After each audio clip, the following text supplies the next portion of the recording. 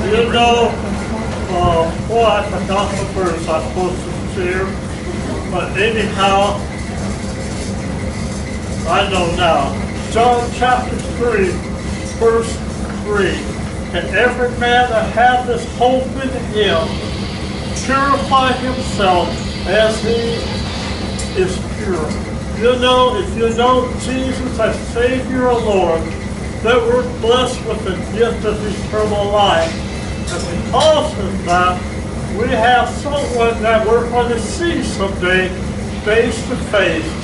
And because of that, we purify ourselves even as he is pure. What a day that will be by Jesus I shall see.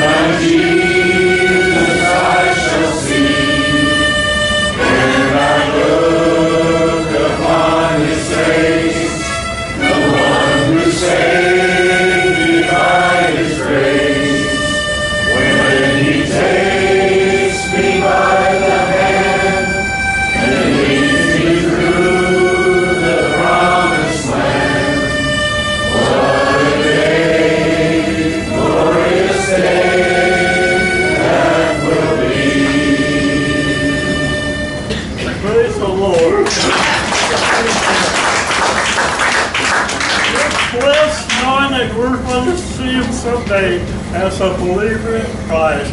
And let us rejoice and be glad in it. Amen. Amen.